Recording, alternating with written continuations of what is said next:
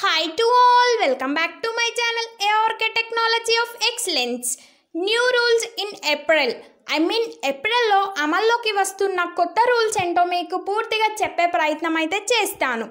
April వచ్చేస్తుంది కదా కొత్త నెల వచ్చిన ప్రతిసారి కొన్ని మార్పులు తప్పనిసరిగా ఉంటాయి. ఏప్రిల్ ఒకటిన కొత్త ఆర్థిక సంవత్సరం కూడా మొదలు కాబోతుంది. మార్పులు కొత్త రూల్స్ మరిన్ని ఎక్కువగా ఉంటాయి.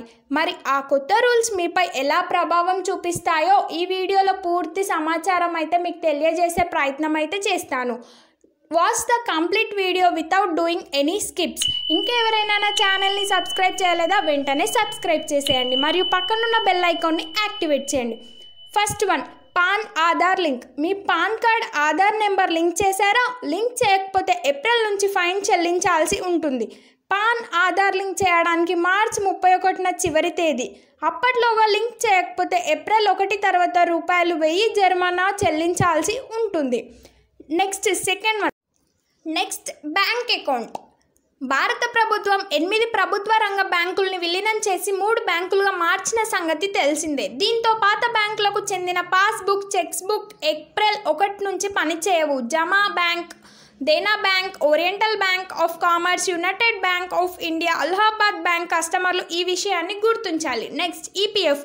ప్రతి ఏటా ఈపీఎఫ్ అకౌంట్లో రూపాయలు రెండు లక్షల యాభై వేల పైనే జమ చేసేవారు. వడ్డీపై పన్ను చెల్లించాల్సి ఉంటుంది. ఆ వడ్డీని కేంద్ర ప్రభుత్వం ఆదాయంగా పరిగణిస్తుంది. కాబట్టి ఇన్కమ్ ట్యాక్స్ స్లాబ్స్ ప్రకారం పన్నులు చెల్లించాలి.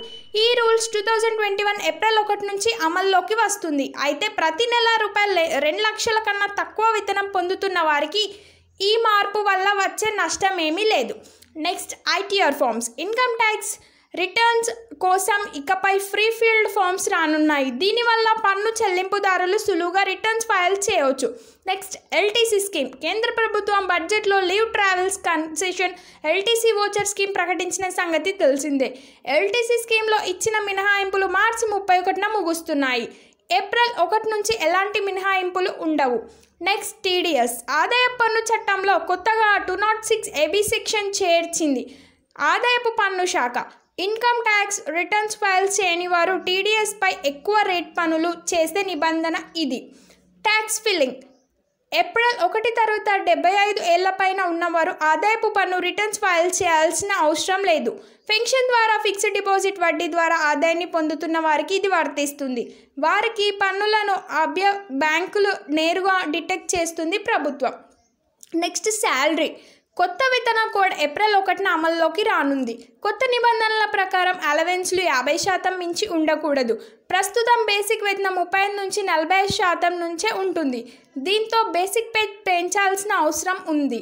బేసిక్ పే పెరిగితే అందులో పన్నెండు శాతం పీఎఫ్ అకౌంట్లో జమ చేయాలి. కాబట్టి పీఎఫ్లో జమ చేసే మొత్తం కూడా పెరుగుతుంది. మొత్తంగా ఉద్యోగుల టెక్ హోమ్ శాలరీ తగ్గుతుంది.